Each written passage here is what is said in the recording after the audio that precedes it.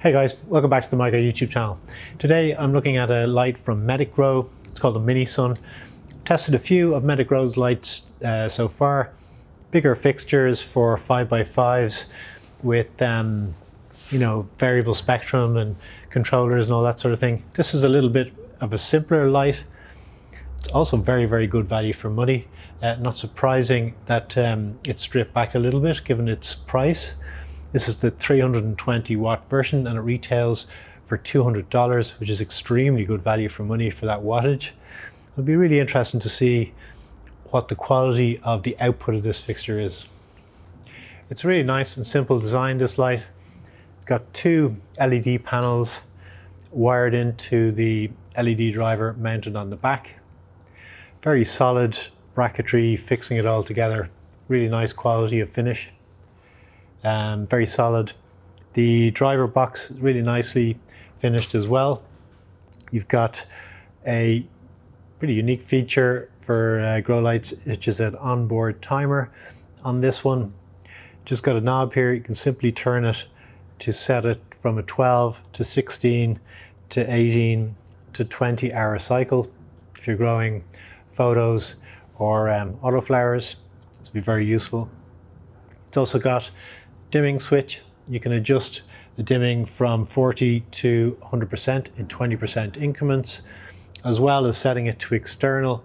And you've got the daisy chain or J12 connections at the back for daisy chaining multiple units and controlling them simultaneously, either from a master unit or from an external controller. I of course tested the spectrum output of this fixture with the Sensitech spectroradiometer and as you can see, it's a full spectrum output. The overall color temperature being 3800K, which is sort of um, neutral to cool in the, uh, in the color temperature range, but totally suitable from growing all the way from seed to harvest. The LEDs have a protective coating over them. I think it's silicon to protect them from dirt and dust ingress.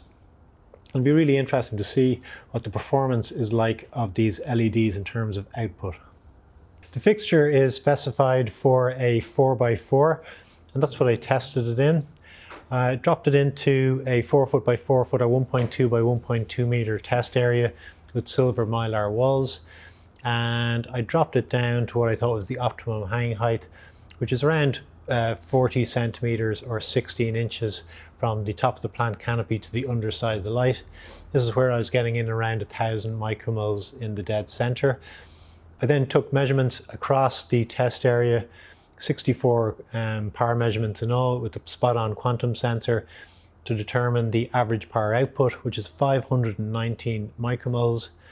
And that total power output by the light fixture onto the plant canopy divided by the power consumed, which was 328 watts, gives you the system efficiency, which is a very, very good 2.28 micromoles per watt or usable ppf per watt.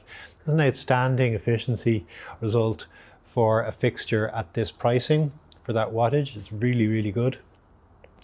The um, This can also be put into a 3x3 to get your power intensity up higher.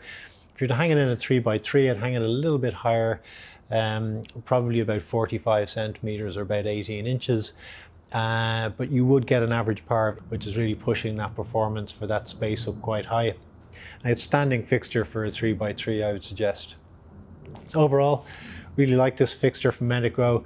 Like their other fixtures that I've tested, it's really high quality product, um, very keenly priced with lots of great features. Um, for a light of this size at this price, really, really good um, uh, offer from them. Looking forward to your questions and your comments. If you have anything you want to add, please let us know below. We'll get back to you as soon as possible. Take care.